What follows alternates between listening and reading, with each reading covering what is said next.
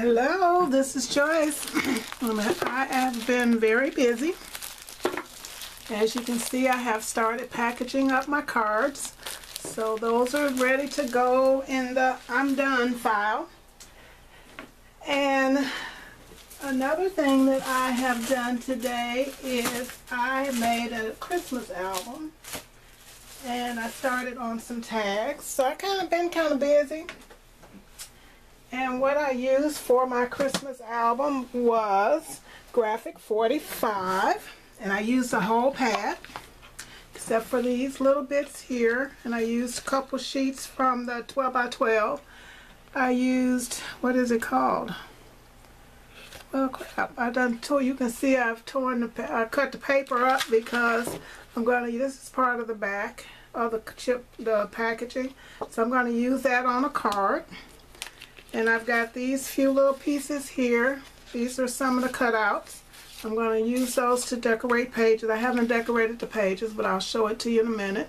And because this Santa Claus was the front cover of the paper, I decided to cut him out and use him for something. So I got that, and that's it. That's all that's left of that pad. And I'm very excited because I have had it for and I can't remember what Christmas it is called. Wait a minute.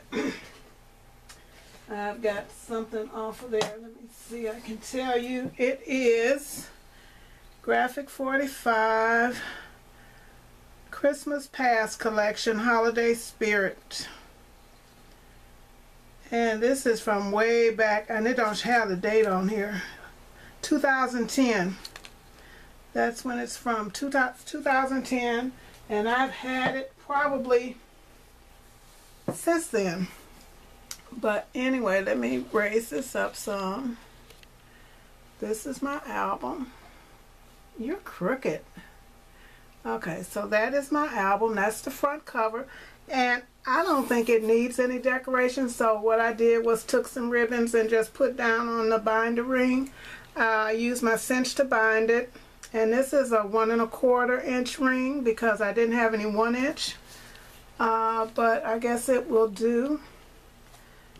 And so that is the front cover. And if, as you'll notice, that is the same picture that came off the paper. So I'm going to use that on something else. And so when you open it up,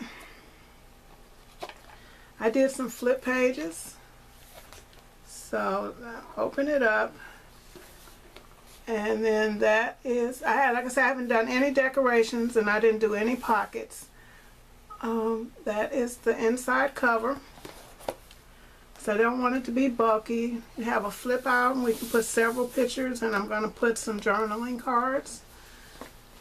And so that one flips. And I use my Graphic 45 magnets. And so the next page is not a flip, it is just a double page spread. And then you come back here and we have another flip. My table is a mess. Um, this would have been the cutouts in the little pad, but I decided to just use it. And then it's this page. Not a cut, not a flip out on this one. It's like every other one and this is, I actually used three pieces of chipboard. And I was cutting the chipboard with my uh, paper trimmer, my big one. And for some reason, after three sheets, it wouldn't go through. So I only cut, you know, I used um, some Gina K paper to for the rest of the pages. So then there's that. And I used another full page of the cutouts. And then on this page, you have another flip. And we have one more flip here. I, did, I meant to put a single page in between that, but I didn't. So we have another flip here. And I really like this. I'm not decided. After I got it together, I couldn't decide if I was going to sell it at the Christmas show, uh, craft show. Anyway, that's one of the another one of the cutouts. And as you can see, I decided to use them. And that is the back and I'll just put my information on here. And that is my album. I do like it. Um, that back page is not they're all the same size but it's pulling it. So anyway. But that is my album. I just wanted to share that for the day. So I have been working. It took me about maybe four hours to finish it because I started from nothing but paper so I had to and I started on using my Tim Holtz folio and I inked it all up and I started matting it but the 8 by 8 paper was really too short for this by about an inch so I didn't like the way it was going but I do have some um, 12 by 12 pages and I'm going to go back and I'm going to use those on here. So I will be working on that one soon.